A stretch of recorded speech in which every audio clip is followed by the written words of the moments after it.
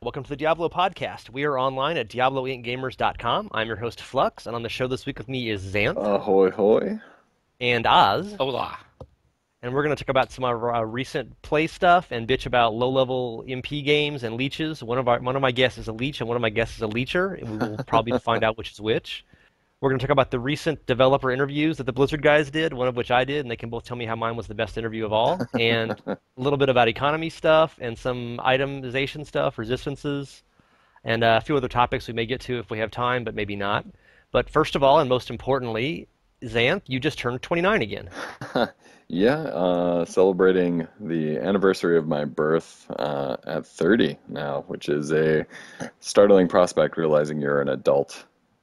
Not that I wasn't well- before, but it, it feels realer now. If you hadn't had a kid, you could put that off for a few years longer, but Yeah, yeah, it's, um, you know, but it, it was a nice day. It was definitely a nice day. so it's August 21st is Xanth's birthday. Everyone can rush out right now and get him an e-card. July 21st. Oh We're- yeah, we're- that- we're- is- I'm a month. I'm a month ahead of myself already. He's Yeah, gonna know. wait a while to post this. I'm so ready for BlizzCon. I, am just skipping months already. I, know, can't stand it. You're too excited. So, was there a birthday celebration last night? Yes. Given that you're on a podcast today. Yeah, there there was. Um, I mean, obviously, it being Sunday now, um, going out on a Sunday night doesn't work because I'm old now. Um, so And you have to get you have to be at work early in the morning. Oh wait. yeah. Oh, not in the summer. Um, but yeah, it was a, it was a nice little night, uh, a nice surprise party and all that kind of stuff, and um, was able to kind of unwind, and it was it was it was it was nice. It was nice to kind of get out and mingle with people like an adult. And how was your re- recent birthday celebration, Aahz? Well, I uh, celebrated my 11th wedding anniversary yesterday, by which I mean my wife and I looked at each other, you know, between chasing the kids around and said, "Happy anniversary." We we had a dinner kind of two weeks earlier, so uh, there was there wasn't much celebration uh, yesterday, but you know, Well, I guess last year was the big one, exactly. divisible by a zero. So. And I celebrated nothing, and I'm not married. So, next topic. what have you guys been playing in the game lately? Any exciting new stories? I have one in a moment, but I'll I'll cede the floor. How about you, Aahz? You can you can segue into your eco- economic issues as well if you'd like. Yeah, sure. Well, uh, hardcore. Uh, you know, I lost my witch doctor. I think a couple podcasts ago. What level was your was your dead one? Uh, Inferno Belial got him, so Paragon Four. Oh, just getting your feet wet. Yeah, so I, I went with a barb next because I wanted something that I could kind of, you know, have some more comfort level with as far as not dying. Um, and I I did beat Diablo, and then I went into some public games to do some farming. I noticed on my way up, like I turned it when I first hit Inferno, I hit uh, turned it to MP1 and thought, you know, I, I want to get the density advantages, and that was kind of scary. so for the after I killed Leoric, I turned it back down to zero, and then played the rest of the you know level rest of Inferno on zero. Then when I started doing like I'll just work on some Paragon and, and did some public games, I went back to MP1, and uh, this kind of goes into the comment we made about leeching. I could barely keep up with anybody. You know, I had I don't know 20k DPS and Oh my God. 530 or so EHP, and I'm just like trying to get to the mobs before they're dead and picking up tomes of secret on the way. Um, and so I thought, well, I'll try MP2. And if anything, that was worse. People were going even faster, and I was, you know, they're level 80 something demon hunter, you know, blowing things up. Not that I'm complaining; it's a public game, but I just felt like, uh, wow, I'm I'm not contributing here. I'm barely, you know, hey, here's here's you know some more resi- resistances from Warcry. you guys, here's some extra resistance just in case. Uh, but things were dying awfully fast, so You were providing 10% EXP. That was your exactly. benefit A little bit game. of gold find, a little bit of magic find. well, I remember running a conviction paladin a lot in cow runs, and so the the- you know the Amazons were coming through and killing everything, and I was just picking up gold and the you know occasional scraps that were left behind. Yeah, I used to call those kind of paladins lampreys when I would play with my uh, Javazon. They would just sort of follow you around and pick up your scraps, and but they at least provided a benefit. Unlike in Diablo 3, we were providing nothing but experience. and I, I believe you had a, a comment on this topic, Xanth. Um, yeah, when it, it comes to leeching, and uh, I'm, you know, hearing 20k DPS, you know, in MP1, uh, for me, that doesn't seem like it, it would be too out of the ordinary. And I can understand not being able to kind of keep pace. I've been finding because I've been playing my witch doctor, who's um, Paragon 82 right now. Um, I've been in a lot of MP4 and MP3 games. Usually, I'll, I'll alternate if I can't find MP4, go down to three, and then you know just kind of switch back and forth. Um, but what I've been finding is I'll you know get a couple good people who are probably pulling 100k or whatever, and then there'll be one or two who are doing substantially less. Um, but it, it's it's very apparent that they're not even trying. Like they're just falling around. They have nothing but magic find equip. Um, well, they die if they try. right, and but they're they shouldn't be there. Um, you know, like I know going in, into MP4 like what the risks are and, and what you know what could possibly happen. Um, and it just seems like they're they're hurting me by being there. They're you know like if if something goes wrong, if I lag out or something, I know they're not going to be able to kill anything to keep me alive. Um, in fact, the other day um, there was a leecher that was doing uh, 8k DPS, 8k on um, a witch doctor with just absolute you know mix of blues and a couple rares. Didn't even bother to craft anything um, was literally there to just try and you know get as much experience as they could at the at the you know price of everybody else in the game. Um, and it's one of the things that you don't notice right away because it doesn't come in and you don't see anybody's DPS right away. But you know when you see somebody in because we've gotten to the point where gear is very, you know, it, has been filtered into the market. So you you can look at a witch doctor and you'll see, okay, there's a Manajuma's, you know, carving knife, there's a Zuni's mask, and you, you kind of just have an idea of, of what they're pulling down. And when you see somebody who doesn't look like that, you start to question it. So I didn't even notice at first, but I knew we were going slower. And then, you know, you you jump into town, you look at their profile, and you're like, really? 8,000 DPS. And then upon seeing it, everybody else kind of notices it too and, and starts to be like, well, we don't want to carry them. Um, well, you can kick them. You can. And, you know, that's that's actually something I, I hadn't had to do in, you know, months. Um, but in the past week, I've had to initiate vote kicks probably about eight or nine times. Um, and it's no fun now because you can't MK them anymore. What In the old days, you used to love that. Well, you could you could murder people. You wrote a whole column about that. Yeah. Well, ironically, um, after going to town to inspect the person's gear, you know, I brought it up. You know, because sometimes you could do a vote kick and people don't pay attention and will just say no. I brought it up saying, you know, this person has this low of DPS. Is you know, and you kind of want to you know, approach them like, hey, is there something you could be doing that could boost your DPS? Maybe you forgot to equip something or or whatever it was. Um, and, he's wearing blues. Come on. Right, and uh, they were uh, they were trying to explain that they had um, mass hypno- hypnosis on their you know skill bar, and they, they they had a skill. They they had an item that that reduced it by 15 seconds. Was okay. Well, then you still have a 45 second cooldown. Um, that, that doesn't help us. Um, That's and, last breath, by the way. Yeah, the and then so they um, were in the fields of misery and i think they were typing to explain why they had low dps or something like that and then they got killed. Um, well problem solved. Right. I'm like I, I, actually i took a screenshot of it. It's going to be in, in in my article that i'm writing but just my comment i'm like well that's karma for you. Um, I, I, I didn't feel that bad because they shouldn't have been there in the first place um, and that's the big thing about these public games is I love them, and, and Flux and I have talked about it at length about why you know a public game just seems to work. You get a good mix of people, you're clearing like 500% experience, and and things are awesome. Um, but you throw a couple of people in there that just can't fit the mold, and then you hit a snag, and it does push people away from it. I don't want to say that you need like break points where you need like certain DPS for certain MPs but at the same time like you can recognize that you're not being able to pump out what everybody else is. And I, I don't know. I don't know if there's what the fix is for that kind of system but it, it definitely can be a little aggravating. Are you an elitist scumbag? Yes uh, basically. No i think you know, the biggest thing for me you know and I, like i had mentioned before is when i'm playing in a group i want to know that these people have my back you know and i want that to well, they're behind you. it, it, it, might be. Um, but you know, I want to know that if something goes wrong, or you know, I've I've got a bunch of people on me, they're going to be able to help me out, as opposed to you know just make it more difficult by them being there. How is it that you're not being a horrible person and like MKing them, like getting a big pack there and suddenly just going spirit vessel down some dungeon? Oopsie, bye bye. um, you just kind of putting up with it and grumbling to yourself. Kind of like at, at the same time, like I don't want to ruin, you know, some, you know, that person who died. I, you know, obviously I feel bad, but like I don't want to ruin somebody else's gameplay. You know, would I prefer that they're not there? Yes, but I'm I'm even in D two. I was never a PK. I was never out to to kill somebody even when I had the chance. Um, this is a big thing in WoW and other RPGs where people like will shun you from a party if you're not properly geared, you don't have the right skills, or you know, Right. we need a healer and you don't have X and Y and Z, so go away. yeah, so you're bad because you don't have this, and that, and I think that And you you know, Diablo doesn't really work that way in terms of you know you don't have party roles, but obviously Right. if someone's you know got eight, I mean, I would I would say 50k DPS is, is too low for an MP2 or three game, and he's got Right. 8k. That's just laughable. in MP4, yeah, which is not going to help anybody.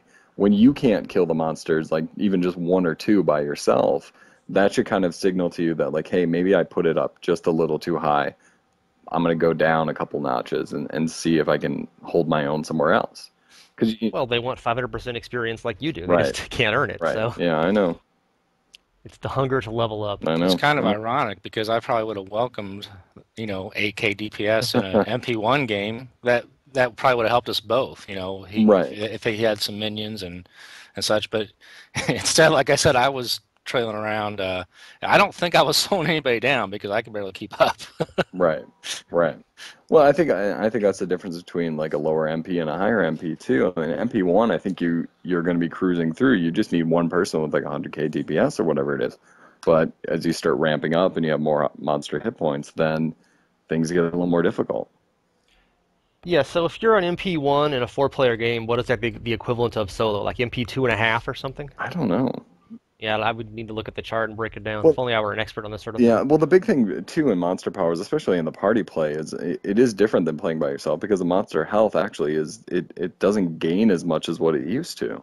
Um, And they don't gain damage with more people. No, they just gain more health. they just gain so- more health, and, and Yeah, the, the danger in higher MPs and hardcore is dying. right, You know, exactly. if you're just grinding on them a little longer, that's probably not going to make your death risk go up too much. No, no.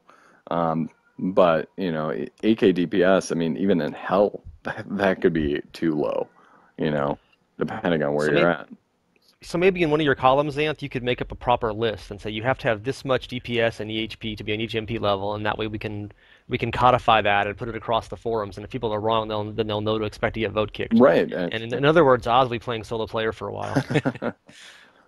It'd be interesting to try to get some kind of guidelines. I mean, I don't think there's any easy solution to that, Right. Unless when you create a public game or something in hardcore, it, it, you know, there's some kind of message that came up saying, "Please be courteous to other players, and these are the recommended um, Right. DPS That's levels." Right. Exactly.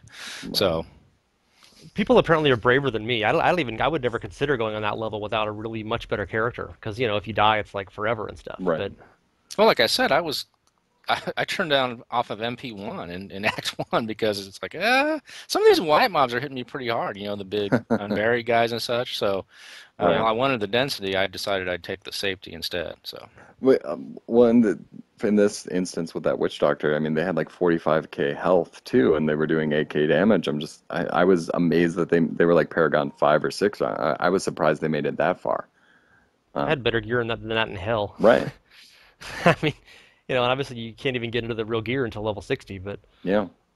Yeah, it was uh, it was surprising, and, and like I said, it, it's not an isolated incident, and I, I think the the thing that makes it worse is because hardcore is already a small spectrum of players, even though I, I do think it's growing. And not as small as it used to be. no, exactly, it's not as small as, as what it used to be, but it's still not the vast majority. And and with that, you go into these games and you're gonna run into the same people over and over again. Um, you know, some of them you become friends with, and, and some of them you just learn to to look out for. Um, but you don't. You, you, it's not like you're going to have a leecher and then you'll just never see them again. Um, I was running into those people three or four games, and eventually I would log into the game. I would see that they were there, and instead of dealing with the hassle, I would go and try and find another one. You know, I've made this comment before about the matchmaking system. Is you know, it is a, a good system, but it has its flaws, and and I can leave a game and enter a game about 10 times before I find a different, you know, game in MP3 and Act 1 to join. So I'm I'm going to be consistently bucking up against the same people who have been giving me problems, you know, for 20 or 30 minutes sometimes.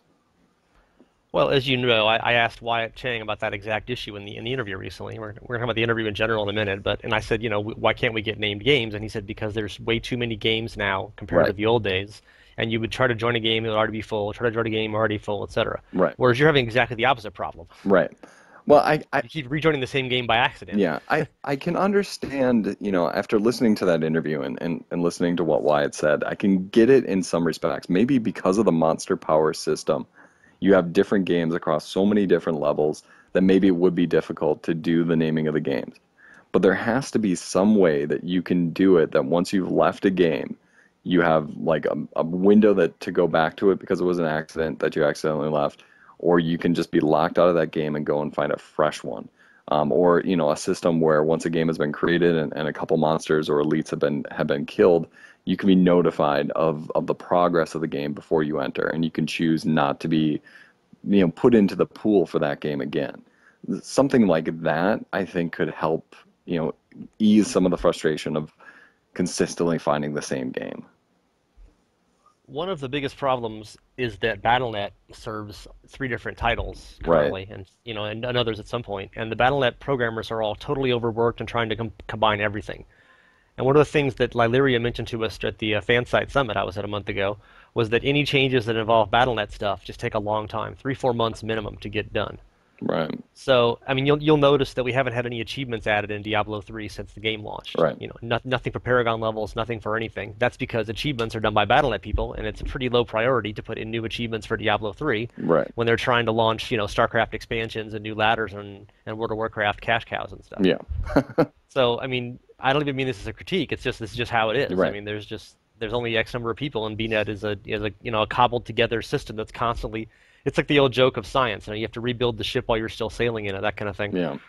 And they can't just shut down BattleNet for two months and say, "Hey, we're going to do a rebuild." It's like, uh, no, there's like a billion people that want to play this. So, I, I mean, they, they plan big BNet upgrades for deadlines and and you know key things like say a Diablo 3 expansion. We'll get ladders or something like that.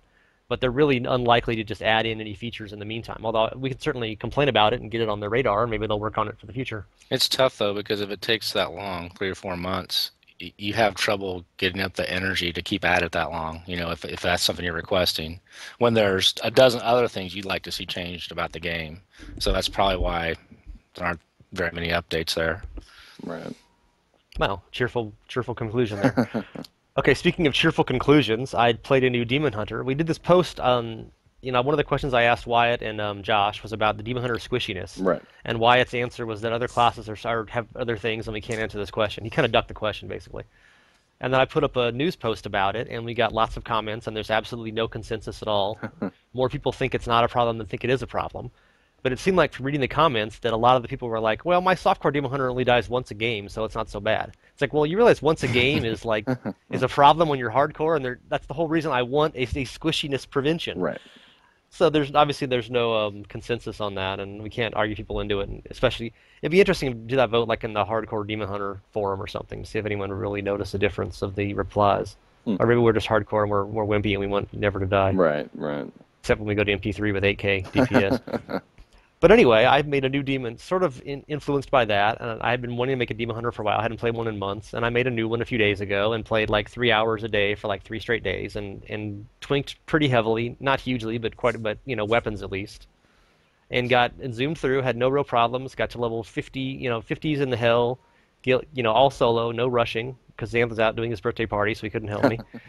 How many monsters did you kill in your last 10 levels of Demon Hunter, by the way, Xanth? Um, Getting up to 60. I I uh none, but you know, hey, whatever. I, no, I let you. I let you kill a demon hunter, a, a, a treasure goblin once. Um oh that's right, because he was um sequestered into that room. Um Yeah, he was stuck in some corner. I'm like, let's see how long it takes you to kill this. And I was But like- the whole rest of the time, I believe there was like a level 70 monk doing something, and you were just sort of tagging along like like Aahz in a public game. yeah. Anyway, I did it all myself. I got up to killed Belial, no problems. I'm up to level 57 or something, and I'm in Act Three. I've been doing shopping. I haven't actually been shopping. I was like looking at gear, you know, planning out what I'm going to do. I got this whole list. I mean, I look at my list. I got. I'm looking like an imp, like a Mempo, and like Nat's boots and Nat's chest, and like all the different prices. You know, if, with with Vit and RA, how much is it? With Vit and def, defense bonus, BK belt, BK pants, maybe Lacunis, maybe a crafted. Looking at a Unity, all this kind of stuff. So then I go back and play a little bit. I do I do uh, the keep two and three. Is you know I'm I'm just an MP one. I'm play, taking it easy. I'm I'm almost there anyway. Whatever, no rush. Got my Hellfire ring. Got my got my ruby in my hat, and I get to level 59.75 and I'm, I just finished Keep 2, and I clicked on the Armory, where you go after, you know, you finish the Keep, and then Pumpkinhead starts doing one of his holographic lectures. And you click on that one NPC next to the waypoint, and you run over to the to the Armory, where Tyrael is gone, right? That's the next step in the quest. And as I do that, Jinx is like freaking out next to me on the desk, staring past me to the wall. And I'm like, what, what is Kitty doing? I kind of got distracted. I picked her up, I looked over in the corner, I put her in the window, go back to the screen, and as I posted this morning, I'm dead standing on the top of the stairs in the armory at level 59.75 and those stupid little black afterbirth things that come out of the soul stone there had killed me. I didn't think. Have you, has either, have either of you ever taken noticeable damage in that room in your lives? No, because I normally kill everything right away. Well, that's generally a good idea. Did you even know it was possible? I mean, I guess I knew they could actually damage you, but I never even considered that could be a dangerous well, spot. I think the better question is why didn't you just hit escape if you were in a solo game and pause it? Because I was in town. There's no danger in town. I, I just wasn't even thinking. I'm like, I'm just, I'm just running around town, you know. I mean, that, that, that step takes you one second, and then you. I was all, all my thoughts were, do I want to go outside and run into the wilderness, or do I just want to restart a new game and do the keep again just to get to 60? Because once you get to 60, I'm going to totally regear. Right. And I was like, my mind was totally in the next step of this, and I was like, eh, I'm not even really thinking about what I'm doing here. Took your eyes And- off the prize. Off quite literally. so I made I did a post this morning about this. You know, what's the dumbest way you've died in Diablo 3? And there were a few other suggestions. But have either of you guys had any really stupid deaths of that nature yet? No. Nothing like that.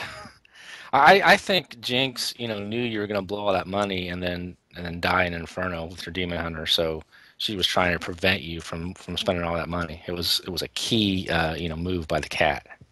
I Well, that is, that is a good point because I would have invariably I was going to spend about 200 million on gear, my price list, and invariably would have died at some point. So probably before I'd made back 200 million in profits. So right, but it was actually a money saving endeavor. now but now you have to spend more money leveling a new demon hunter, and then you're going to spend the money again anyway. and I lost a six million gem and some other crap I had on. But even though I hadn't really bought much of anything, I was doing it pretty cheaply. Yeah. Anyway, so that was my uh, that's my exciting recent play style. Oh, and the best part is I, after that, I got I made the I made the news post about it, and then I went and had a snack, and it was like an hour before I was going to go to bed. I thought, oh, I'll play a little bit more. I'll just do my monk a little bit. And like the first boss I kill drops me a legendary quiver level 63. Mm. I'm like, just just to f with me, you know? it's like I, I, what the hell is that called? I'm, I'm Uh, Dead Man's Dead. Man's, yeah. Yeah, it, it's like the best potential quiver for a demon hunter. I, I don't think I've ever actually found one before. I've had really bad luck with quivers. I don't even pick up rare ones anymore. 'cause They just never are any good. No. It was a horrible roll, by the way. I couldn't even sell it. It was it was literally worse than any of them any of them in the entire auction mm. house. It had a life regen for the random stat, and it was only 11% IAS. Nice. nice. Ouch. So it, it was it was unsellable. The cheapest ones are 170k, and they were much better than mine. I'm like, okay, this is not going to sell. Yeah. So it was basically just fiery brimstone. But you know, it was, it was funny that the first game I played after the Demon Hunter died with a monk, they dropped me the best potential quiver in the game. Even though I wasn't actually going to use a quiver, I had a shield all planned out. Nice. Uh, the, uh, the other funny part, I was planning this whole tanky build, and when I was doing my shopping, I bid on I t- I did total lowball bids on four different items just for the hell of it, saying here's what I want, and almost like so it would be on my menu. So when I Mhm. went back and looked, you know, and completed all, it would say failed, but at least I'd say okay, that's what I was looking for, and I won three of them. So Wow. you know, six, eight, twelve hours later, I got on today, and I've got Nat's boots and a Unity ring, and I forgot what else I got. That you know were kind of what I wanted, but weren't perfect. But you know, like the, the comps were like 25, 30 million, and there was one with a no bid out, and I bid like 11 million and won all won three out of four. So in theory, I saved like 50 million on these purchases, but Now you got to use them. yeah, now it's like taunting me. So anyway, I started new Demon Hunter and I got to level 22 already. So I played an hour and a half and did Act One and got to level 22. So that's that's where we stand at this point.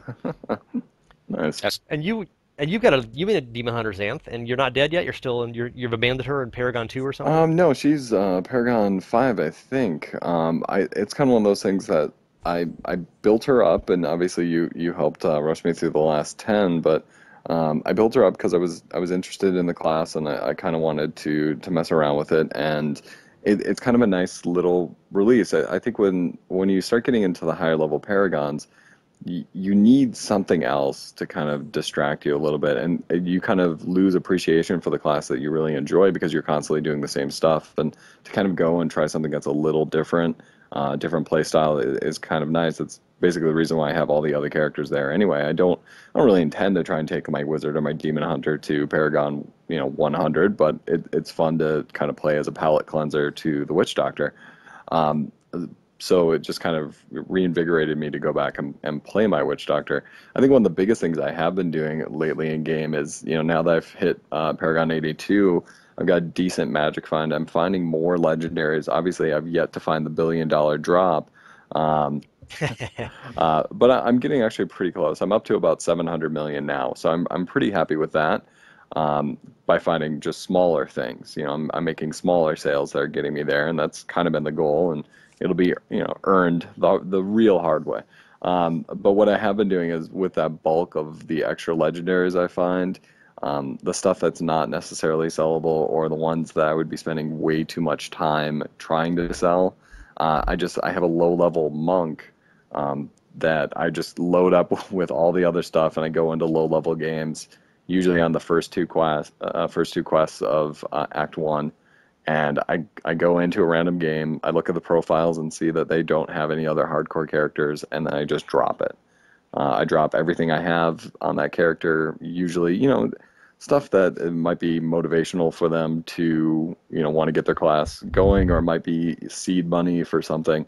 Um, and just kind of move on. And you know, some of them will friend me after, and some of them don't. And it's kind of interesting to see their progress. There was actually a witch doctor uh, who friended me um, and is still using. Like I dropped like a low level uh, Manajuma's and a Thing of the Deep, and they're still using both, and they're Paragon 25. And I actually, I kind of feel happy about that. I'm like, well, that's kind of cool that you know maybe because of that it pushed you, and and now you're doing really well. You're building your own army. Yeah, slowly but surely. And it's it was one of the things I really liked about D2 was going into random games and, and people would just drop stuff for you. And, you know, from my perspective, I was going to spend far too much time trying to sell that stuff. And I'm not doing a lot of crafting where I need a lot of brimstones anyway. Um, so why not give it away and, and try to keep the hardcore community going? Because for some people, you know, whatever I'm dropping is something they don't have and, and something that they could actually use down the road. So why didn't you hook up Mr. 8K DPS? um, he didn't deserve it. Well, that's the thing is, I'm not. He was taking advantage of your generosity. I'm not doing that in an Inferno game. I'm going to the people who are just starting out. I'm going to the people who've been struggling. Who and, also have 8K DPS, oddly enough. Yeah, exactly. Um, so. Except they're in normal. Right. So it's been kind of nice to do that, and um, actually, the last time I did it, I went into a game and somebody else was doing the exact same thing. Um, so this this little witch doctor, I think they were like level three. Um, this other character just dropped everything too, and um, they walked away with a nice haul. So if you're interested in going into hardcore, and you know there are kind people out there, it's not just you know myself um, who are doing those things, and you never necessarily know who you're going to find in in a random game and and what they might actually be able to do for you. It's like Christmas in July. Yeah. Um, it, Literally, in this case. I kind of feel it, it helps. It helps with your drops too. You know, it's good karma. Um, you drop a couple of things you don't need, and maybe you'll find something you do. Probably not. No, no not necessarily. but... Okay, so speaking of items and economy, you have an interesting story on this, Aahz. Well, I yeah, I. Um, and you're poor and just getting started in hardcore. I am. I got like five million, you know, in the stash. And uh, how much of that came from selling TOS? none, none. Four and a half of it? No, none. I don't. I don't. I haven't sold any of those yet. I, I'm still trying to buy them and build up all the you know gems that I found on my way up. Kind of improve the rubies and amethysts. So yeah, I switched over. I wanted. I want to get uh, you know a hellfire ring to help for like future characters. Um, I'm up to about 40k DPS now with some auction house stuff and a couple of finds, and so I've been doing key runs and I also wanted to get the plan. So if it, when I got to Act Three, you know, I was about MP4, and uh, and I, I killed Sadea before I went to the Warden, and out popped a uh, well, a pair of Inna's pants that had 70 all resist. Mm. And I looked on the auction house. There was only one that was close, and it was a little bit better, and it was like sell listing for 1.4 billion. So I thought about it, and I tried to decide, well, do I want to, you know, keep these or not. Um, they're perfect for a demon hunter. because you know a monk, if you even if you have your resist on it, it's almost as good as that. And I thought, you know, I'm going to kill off a demon hunter pretty quickly, so I decided to list them and and uh, you know try to get some money to improve the the barb. So you know, the HP and the DPS. The yeah, that's kind of yeah, that, was my thought too. And, and, they won't help my barb that much. I've got the Blackthorn pans, and it's like a seven thousand life drop. Those are like the most popular pants in the entire game, and with AR, every class loves them except for the monk, even so. Yeah, so, so I, I think so I, I, think we really have to focus on. I mean, what's taken Xanth so long to get to a billion? but you haven't sold. They haven't sold. No, no, no. They haven't sold. No, no, no bids have come in either. So. So if you sell them for 1.1 or something, you'll be up to 900 million. exactly. And then you can then you can then you can. How many emails can no, you send Xanth? It'll be like 905 million. Son of a bitch. Because I mean, I was I was giving serious planning to my Demon Hunter just last night, and it was about 200 million to get really good gear. You know, I mean, not fantastic, obviously, but really good gear in every slot except for the crafting slots. And that was not including rings or amulet or shoulders or um, gloves, because I figured I would craft those, or I have crafted ones already for that. But you would you could 300 million, you could make a really strong Inferno quality hardcore Demon Hunter. And so obviously you don't want to wear one item that's worth a billion when you've got five million total. Right, right. That was my thought. You can equip three really good characters for that much mm-hmm. easily. So we'll see. Uh, like I said, right now it hasn't. Uh, no bids yet. Well, it only takes one. So that's right. Oh. So, what's your biggest sale lately, Xanth? You, are no no B club for you. Uh, no, I think the biggest sale, like I said, it's been small sales. Um, the biggest one was I found a Shenlong's Fist of Legend with life steal on it. It had a de- a decent uh, DPS roll, um, and it sold for 150. Um, so I mean, like the comps on it were around that level. Um, you know, it's it's a kind of a hard item to price because who's necessarily uh, looking for that by comparison to other things, especially with uh, rare fists right now. Um, but I was happy with that. Um, and then just like I said, little stuff. Um, I found a nice two-socketed uh, manticore, and um, I've been I, I, found a couple of Manajuma knives that they didn't roll with a socket, but just had decent DPS, and those have been selling for like twenty or thirty million. Um, so just random little things that are kind of pushing me. Um, I think the big thing too is, you know, when I first started playing hardcore, um, the big item I got was a witching hour with all res. You know, if I go back and I look at, you know, what I sold it for, which I think was around 150, 200 million, that's probably comparable to what a billion is now. Um, because just the way the currency has fluctuated so much with the uh, you know with people switching over and bringing their gold with them and and wanting to get hardcore gold. And obviously there are those gold selling sites out there as well. Um, the the economy has really shifted. You know there was a point when 100 million or 200 million seemed like a ludicrous amount and like the most anybody really had was a billion. Um, and now it's kind of moving into that spectrum where you know we're getting into the billions and the billions of you know I've seen items going for 15 billion or whatever it is, um, which is ridiculous, um, and it begs the question of you know with the expansion where do you go with gold, um, you know and I think back to that leecher that 8k DPS person is it is that a result of the fact that they were starting out and couldn't afford some of the newer items which I would argue is probably not as plausible because on the low end you could still you can get awesome oh, stuff oh, yeah. for a million now. Yeah, you can you can get a lot of stuff for cheap.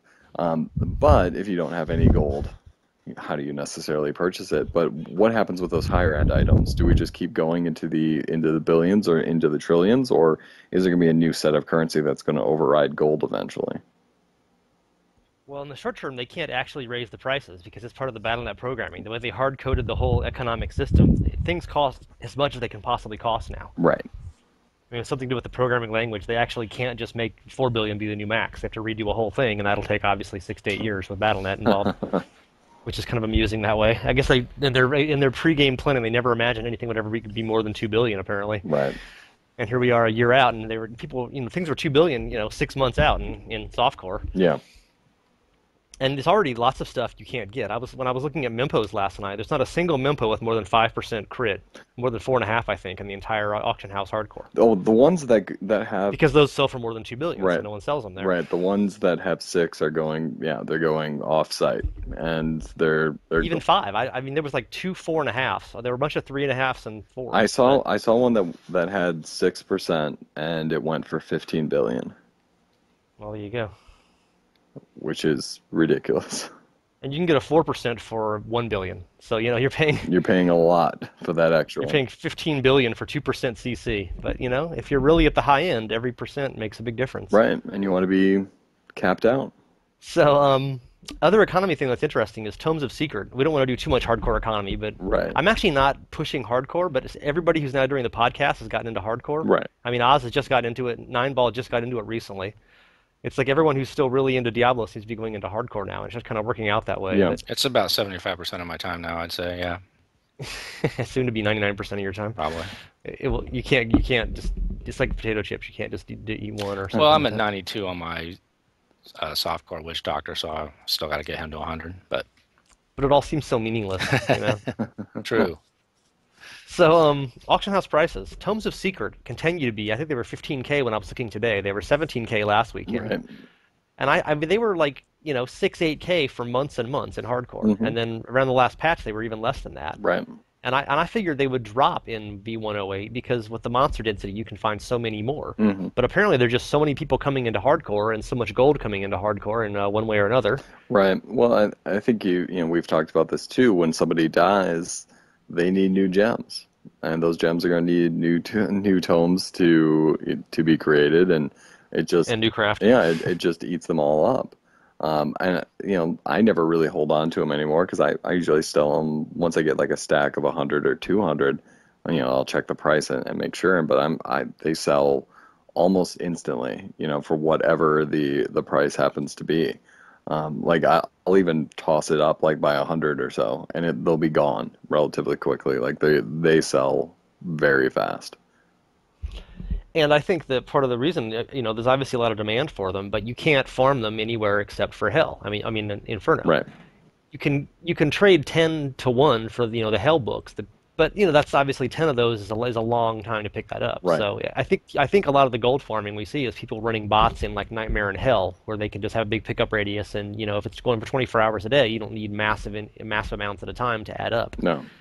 but you're not going to add it up with those books. So I, I think there's not a lot of farming of Tomes of Secret, except for Aahz and Public Games, of course. and just, you know, they you lose a lot. I mean, you, you're making shoulders or something, you're using up 10, 15, 20 at a time. Right. I mean, I think it, I, mean, I don't have the figures in front of me, but to make a, a Radiant, I mean, to make a marquise gem is like over 5,000 Tomes of Secret, Right. And then uh, which is a lot. Yeah, it uh, and it takes a long time too. Um, but it, it's very interesting to watch the prices fluctuate. Obviously, it goes up on the weekends because more people are playing and more people are purchasing them. So you almost kind of want to hold out until it's the weekend because you know the prices will be up a bit more. Um, but then it, sometimes it's just an odd spike. You know, like you'll log on and you know early on it'll be eleven thousand in the morning, and then by night it's up to you know 15, 16. So you just kind of want to hold on like to them. if you see it under 12, you ought to buy them now, it seems like, because they'll be 18 again before too long. Right. If you if if they fall below 10, then just buy as many as you can because if they if they shift upward to 18 again, you're looking at 8,000, you know, per book and then, you know, take off the 15%. a friend of mine who uh, just lost his hardcore barbarian yesterday. He's, he estimated he had 2.9 billion in gold on him in value, Mm, which is you know two pairs of pants for us, but that's a lot of money for most people. ouch. but we'll get into that in a, that whole topic in a second. But he said that he had bought I don't know 30 something, 40,000 tomes of secret months ago when they were like 5k a piece around the time of the patch, and he finally sold them all last weekend. He sold like 37,000 last weekend. I haven't added up that profit, but I mean it was I- it was I- many hundreds of millions. I, I did the math and I, I figured out the cost to purchase and I figured out the uh, you know the selling and even with the 15%, he would have made at least 300 million. Wow. yeah, which is which is nothing if you Right. I mean, you look at you look at someone's character and their entire, you know, every gem and their armor is a radiant star, Right. which are, you know, 120, sorry, 50, 45, 50 million apiece in hardcore. Right. So if you've got 300 million in gems in your chest piece and your pants, you know, Yeah. you're obviously on a different financial reality than most people are. Right. Yeah. Well, yeah, like you mentioned, Flux, you get you run into the tier issue where okay, I can buy this really nice 200 million item, but you know I can't buy five of of the next level up because they're all a billion. So even if he, he got the 300 million, he's still he can he still has to decide what do I want one slot or I do I want to get you know several of them. See, and, and I think that's where one of the you know the underlying market there is this hidden market out there that that has an appeal then, and that's buying unID'd items. You know, I may not be able to afford a you know 15 billion mempo, um, but I might be able. No, surprisingly not.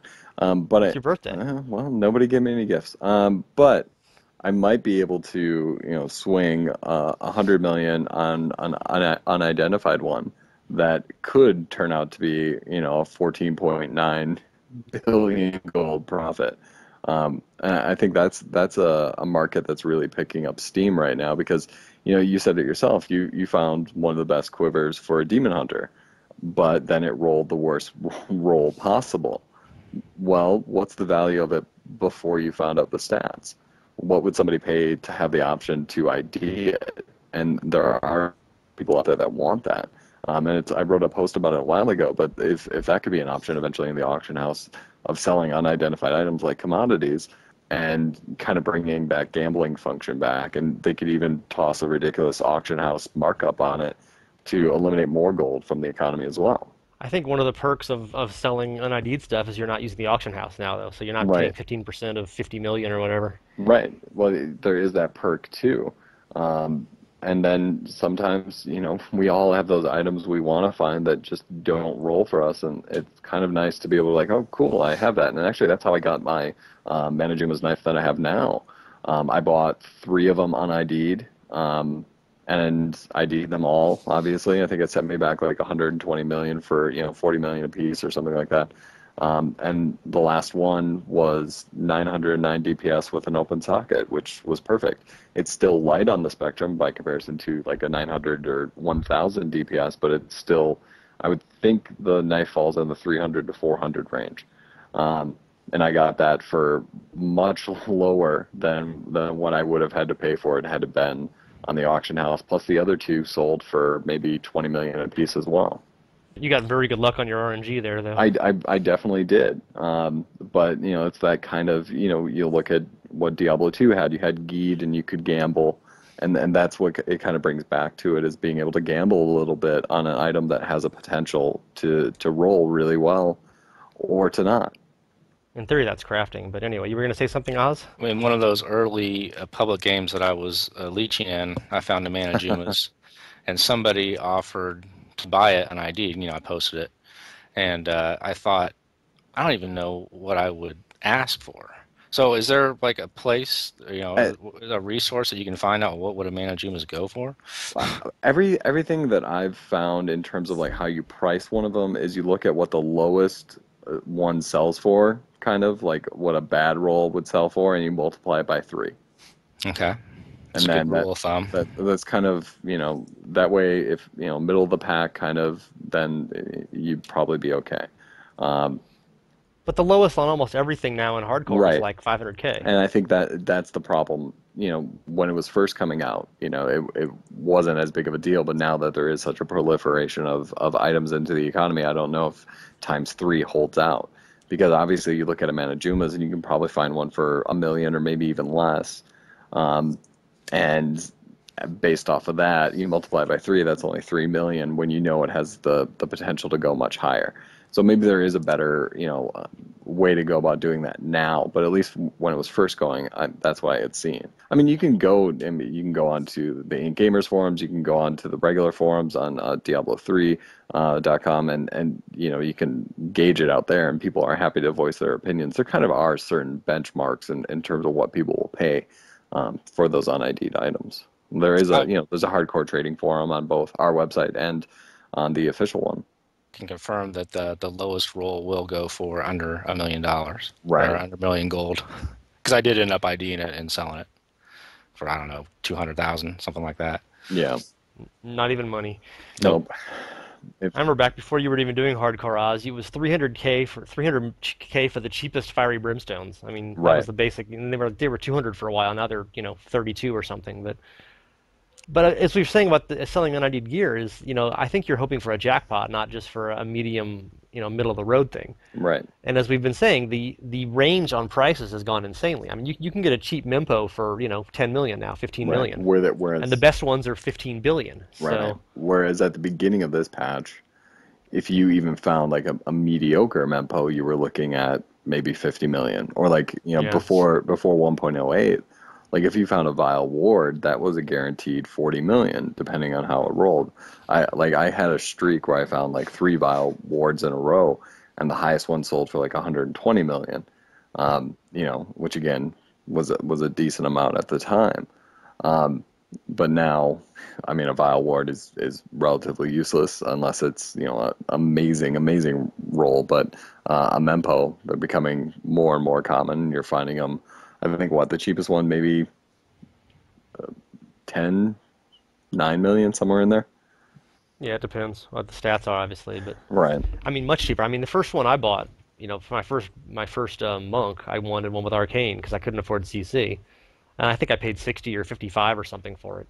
And then like two months later, I had to buy. I bought the same thing again for my another mo- next monk, and I think I paid twenty seven or twenty nine. Right. So it had fallen by half in two months, and they're probably cheaper than that now. It's funny. I was looking. I sold you one. I think it was the intelligence with pickup radius Yep. for 20 million, like two months ago. Mhm. You know, obviously we, neither of us paid the uh, 15% to Bobby, so that was Uh-huh. nice. But but I was looking last night at pricing ones, and there were like three pickups in the whole auction house, and the cheapest one was like 45. Right. So there were no intelligent intelligence ones when I was looking. There were there was a dex and two strengths. Right. So this, some of these with unusual mods really vary a lot. Right. but- especially when there's only one mod on an item. It's like you can get a pretty good, like on the Coonies or something. You know, when you get three different mods and they fall pretty often. There's sort of a, you know, there's lots of them kind of at a sliding scale. You know, like every every ten bid, you can see the price going up or something. But Right. Well, uh, you get I, you get ones that only have one mod and they don't drop that often, and you know you get really weird. It's hard to get a pricing range. I really wish you could look at. You know, here's the last ten of this item that sold with this stat on. Like looking at eBay auctions, you Well, can look at you know past sales. or like with you know what you, you see with Tomes of Secret, the last ten sales of this were at this level. Um, but you know, obviously, there's probably a lot of infrastructure that would have to go in because our you know the stats vary so much. Um, and uh, you bring up Lacuni too, and that was another item that was godly uh, before crafting, and now I found one that was actually really good. It's got strength and vit and AR, and it it just won't sell. Um, Gonna have CC. Yeah. no, it's got CC on it too, and it just won't sell. Hmm. Um, or no, it's DexVit CC, um, and it, it and AR, yeah, and it won't sell. I I I've had it low as like, I think I, I think I have it up there like 25 million, and, and nobody's buying it.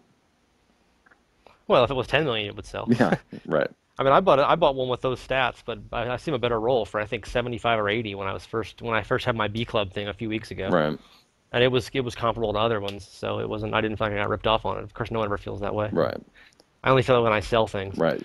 But you know, your item's only is worth as much as what people are going to pay for it. As uh, as Aahz is finding out right now. Yeah. And speaking of, of all these money stuff, a, a friend of mine I'm talking to who who's just lost his three three billion barb, he said he keeps Excel records of everything, and he was like, he, we were talking about Hallowed Defenders, the crafted shield, Mhm. which he which he produces and sells, and he said I just sold my 99th one, and I'm like, I'm, I thought he was joking. He's like, no, I've actually sold 99 of them. I have an I have an Excel document. I made 514, and I've sold 99, and the average sale price is six million, and I, I've made this much profit. I make about a million and a half profit on each one total. Hmm. I'm like, I'm like, you really? He goes, yeah. I have I have second monitor running, and as soon as I sell buy, sell anything, buy anything, you know, he he actually enters the stats of everything he sells and buys. I mean, not everything, but at least the major stuff. Wow. And he he knows exactly how much all his gear cost, what he paid for it, when he paid for it, how much experience he gets in every game. He enters his starting and ending, and what kind of run he does. So he knows what's much most what's most you know efficient. Hmm. And I was like, you know, I've occasionally written down some numbers, and I'll check my past auction sales once in a while. Right. And at times, I will I will mark experience, like I'm trying a different build or trying a different area and comparing Act One to Act Two or something. I'll I'll write down my experience and the time, but it's on a little scrap of paper by the side of my computer that I throw away a week later. You know. Right. And I wonder either of you guys have made any sort of effort like this to actually notate and keep records, and do you wish you had? Hmm. No. Is that no to both or no Uh, to the first?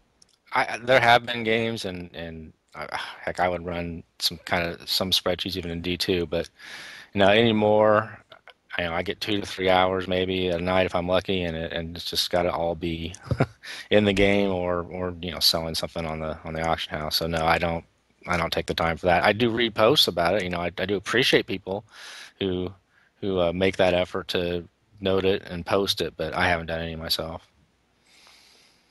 Do you have stat envy now, Xanth? Um, no, I, I teach uh, English, um, not math, and Excel spreadsheets are, are not fun for me. Um, so to be doing something like that, actually, uh, it, so, it sounds like I'd be doing work um, for a game that I, I like playing. Um, I occasionally, you know, I'll go in and, you know, you and I were discussing experience gains in, in different games the other night as you were trying out a different run, and I was arguing, you know, public games uh, just seem to be the quickest. So I'll go in. I, I kind of like to know in, in a in a really good public game, like I know how much experience I should have gained and and how quickly, um, but never never to the point of uh, notation. Maybe we're just not nerdy enough. I mean, I'm obviously people. Some people enjoy this, and I can see there being some benefit, but I just don't care enough to do it. I wish I did in some ways, but I don't. I, I for me, I think it, it's just like it's too much quantification. It, it's too much like notation of everything, and and then you know trying to replicate that consistently. And you know sometimes I just like to mess around and, and just play and, and not necessarily worry about well this run's going to be inferior now because I stalled in town for 10 seconds and my you know, my experience is going to go low. I'm just I kind of just want to play and, and not necessarily worry about that.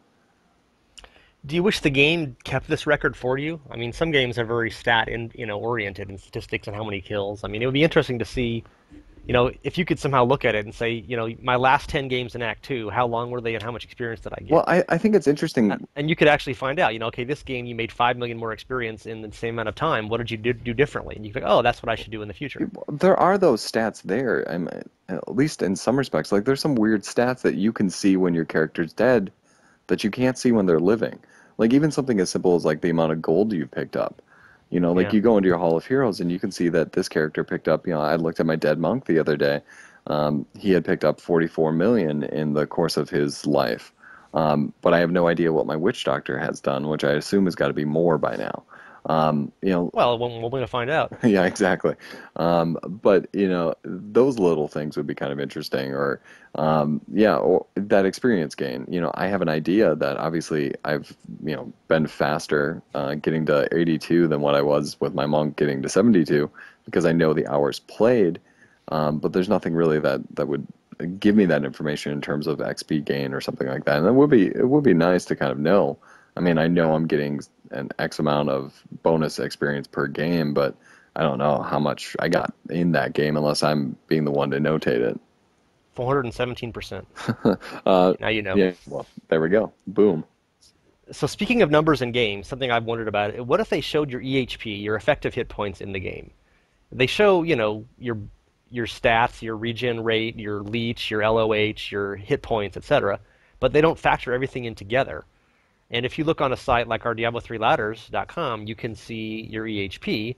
And I was looking at some other monks, comparing them to mine recently, and one by the same guy who I just mentioned, who's uh, barbarian died. He has a level 80 monk, who has 1.100 100 and- sorry 1,500,000 EHP. And I was like, that's a damn lot. My monk had like 780 at that point without without his best survival gear. I'm like, what the hell has he got that's so much better than mine?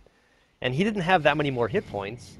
He had a little more LOH, but one thing that was a really big difference, he had 20, 27 or 28% blocking on his shield. Right. And I had, I don't know, 18 or 19% because he had a Hallowed Defender that he made himself, one of his one of his 512 makes or whatever. And so I think there's some stats like blocking percentage that are really undervalued. You don't really see that in the game, obviously. Right. When you look at a new shield with blocking percentage, it doesn't say, you know, here's how much. I mean, you know, you get the comparison on defense, but that's just on defense and resistance. That doesn't and vitality. That doesn't tell you anything about blocking percentage. Right. And I think if you actually saw your EHP in the game, I was actually going to ask Wyatt about this in the interview. I didn't have a chance to, but we're going, we're going two parts here, by the way, because we haven't gotten to like the main topic yet. we're already 54 minutes in, so this may be in part two when you're listening to this. Enjoy. I hope you like part one. We'll let Aahz talk more in part two. Okay. No, we won't. But anyway, is- you can answer this one first, Aahz. So can you imagine? Do you look at your EHP? Do you worry about these kind of stats on stat tracking sites that give you more information than you see in the game itself? And if not, do you wish you were? Yeah, I use uh, usually go to d3up.com and uh, I do pay attention to that for the hardcore, especially. I look at all, you know, all of them, but um, yeah, that I think you're right. I think that would be good to get in the game. It's just it's still hard to get all of it because, like you say, then you have life on hit and life steal, and how does that really you know factor in? Because that can change. Well, that's what EHP does. It factors it all in. So. Oh, I didn't realize that. Even even life steal. Yeah, EHP factors in everything. Factors in regen, vitality, defense, resistances, all that stuff goes into one big number. Interesting. I mean, so basically you have DPS that factors in, you know, your crit chance, Sure. your crit damage, your dexterity, your attack speed, everything else. It doesn't really work, you know, it's still limited. I mean, if you have a Castone of Jordan, you know, you, you get a big drop in your DPS because it doesn't know to factor in, you know, it, you know, bonus damage to elites or my monk has a has a sweeping wind. I think it's 11% bonus to sweeping wind damage, which doesn't show up anywhere in your DPS. But that makes a huge difference. I mean, I've tried that. I tried it. I had a cheap one that was I think three or four percent sweeping wind. and I spent like 50 million to get one that had 11 or 10 percent, and it was really obvious difference in you know overall killing speed. It was like three minutes faster to clear a couple of like 10 minute levels. But that made no difference at all in my DPS display. So that's not a perfect number by any means. But Right. Yeah, but that's I think also EHP. I think there are undervalued stats people don't really know to notice that much, like blocking percentage. And if there was EHP in game, it might show that, and people would know to value better, to value their gear better. In much the same way that now that you get the comparison when you're using the auction house, it makes it. You know, before you'd have like a ring with dex and crit chance, and you're looking at one that's got, that's got IES and crit damage, and there's no way in your head you could say which one was better. You know. And now you see a little green number or a little red number, and it tells you a lot. So go ahead. I was just gonna say, I think that would be quite. I mean, it would be beneficial, especially if you're, you know, again, maybe back to the auction house for better or for worse. But if you're looking at, okay, how much would that Im- improve? Because obviously armor rating goes into that too, and there there are several factors that could you could say, well, I can drop uh, 20 vit on this new item, and it'll actually take my EHP up. Do you want it, Xanth, or do you know enough you don't need that? I think I can see why it's not in the game because it is. It, it, I mean, it's not something that you can necessarily explain in just a couple of seconds. Like I think everybody can look at damage per second, and just be like, oh, okay, that's the that's the damage I do. Um, but Except when it's alive. Well, yeah, exactly. But I think with effective health, I mean, you're looking at so many different things coming in that maybe it would be it would take a lot more explanation as to how it works. Uh, I'm on the you know flip side of the coin. I'd be totally for it because I, I can definitely agree that it would be nice to kind of see those hidden hidden bonuses and how it would you know how it would affect you and, and to see those gains um, as opposed to having to kind of go and figure it out yourself. Um, so I can see the the pros as to, as to why it should be in. I, I can kind of get why they wouldn't put it in. You know, you know, passing that grandmother's test, if you will. Um, but I, I could see where it would have some utility, especially playing some of those squishy classes that you're trying to figure out. You know, how did this happen, and, and what could I have done? And you can look at your gear and be like, well, this this should work. You know, what was I missing? And then you, you brought up block percentage.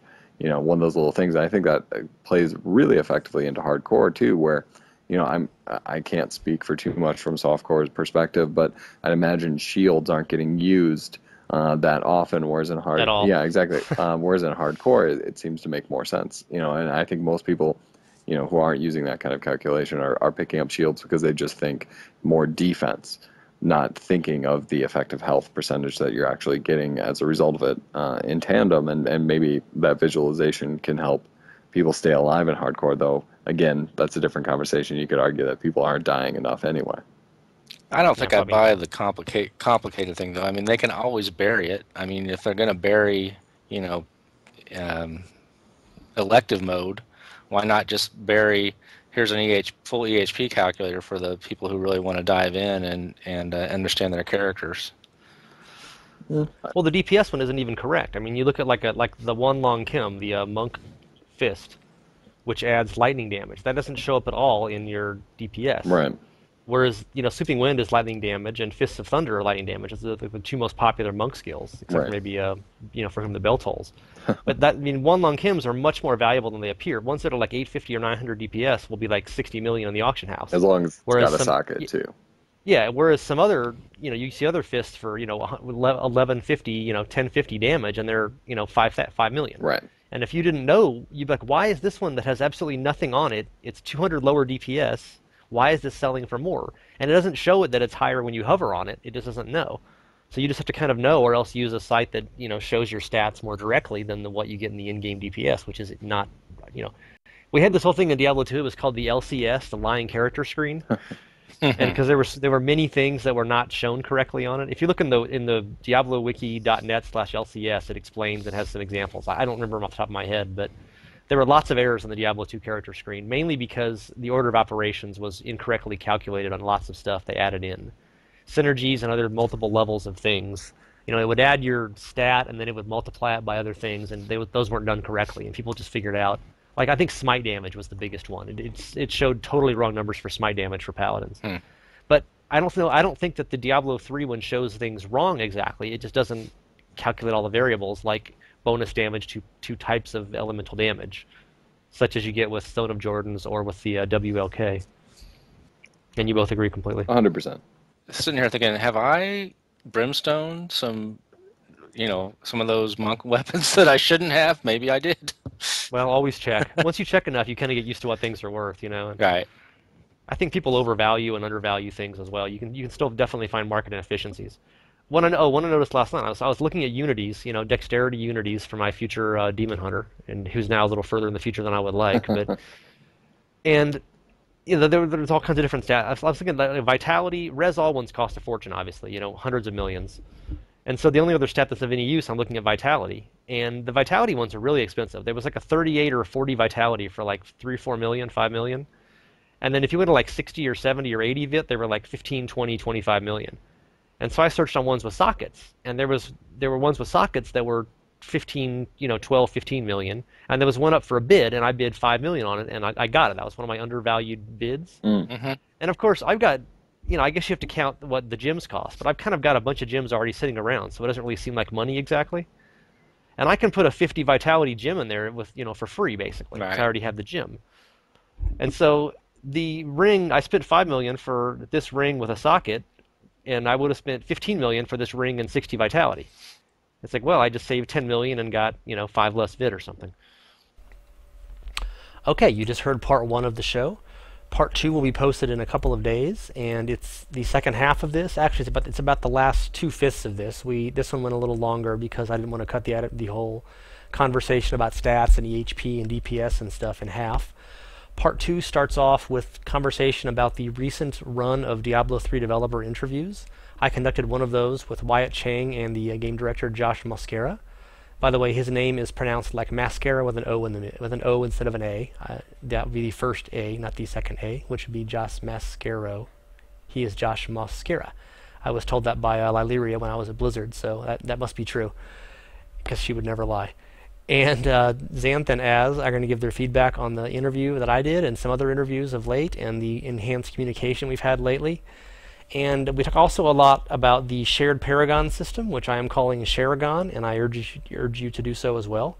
And that leads into a whole debate about Magic Find and how it's not coming from gear and how we think it should be, or maybe not, and if you should have to make sacrifices to get Magic Find or just get it for free for grinding. And we talk a lot about itemization in Diablo 3 and how it should be changed in the future and how it works now and- or not, and a few other stuff. So check back in a couple of days for that, and thanks for listening. Moo.